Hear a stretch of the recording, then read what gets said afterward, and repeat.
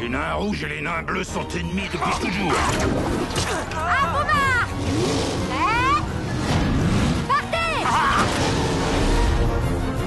Gnoméo Juliette, je voulais simplement te revoir. J'ai besoin de ton aide. Si mon père me demande, dis-lui que je me lave les cheveux.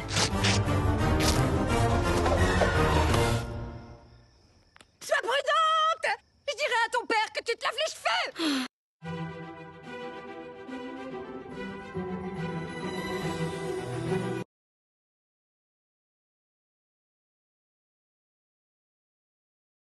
Oui, alors j'avais eu quelques expériences en doublage euh, précédemment. J'avais euh, fait, alors c'était pas très loin de ce que, ce que je fais sur scène, c'était, c'était d'ailleurs des imitations dans Allez raconte, euh, qui était un, petit dessin animé, un petit ovni comme ça euh, en 2D qui est sorti au mois d'octobre de, l'année dernière. J'avais pris beaucoup beaucoup de plaisir, mais c'était assez proche de, ce que je fais sur scène. Et puis euh, un, autre film qui est sorti en octobre, The Kids Are Alright, de Lisa Cholonenko, je crois, avec Mark Ruffalo, Annette Bening, euh, Julianne Moore, et dans lequel je, je- doublais Kunal Sharma, qui est un jeune acteur indien. Là, par contre, c'était un film, c'était pas du tout de l'animation.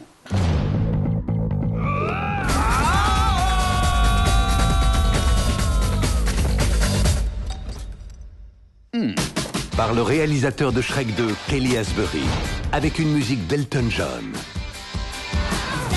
En février, si vous rêvez d'aventure, entrez dans un cinéma et découvrez l'œuvre légendaire de Shakespeare en 3D, En 3D comme vous ne l'avez jamais vu.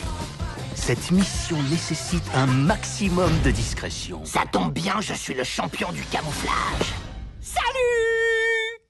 L'idée de départ est juste, euh, est juste complètement originale. Et le, fait de retrouver Roméo et Juliette chez, chez les nains de jardin, c'était juste hallucinant et je l'ai trouvé un peu fou de- de- de- d'avoir une idée comme ça. Je trouvais que c'était une, idée folle. Quoi. Donc ça, ça m'a beaucoup plu. Et puis après, ce qu'on a essayé de faire euh, avec, Vanina, avec Vanina Pradier qui m'a dirigé donc, pour le film, euh, comme c'était déjà une première expérience, c'était de me libérer plutôt aussi de toutes les contraintes. Donc on n'a pas essayé de créer une voix. On a essayé de, plutôt de, retrouver euh, le personnage. Et voilà, c'est plutôt un personnage assez jeune, un peu naïf.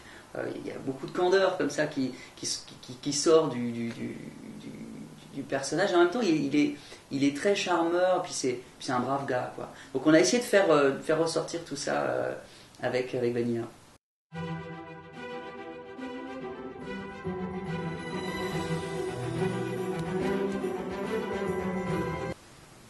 L'imitation et le doublage, c'est vraiment deux choses totalement différentes. La, seule chose finale qui, qui- va les rapprocher, c'est le, le- travail de la voix. Parce que c'est de faire passer euh, le doublage, quand même, c'est faire passer toutes les émotions, toutes les énergies, sans le corps, sans bouger. Donc évi- évidemment, c'est un, un travail qui est un, un peu cousin, mais cousin éloigné.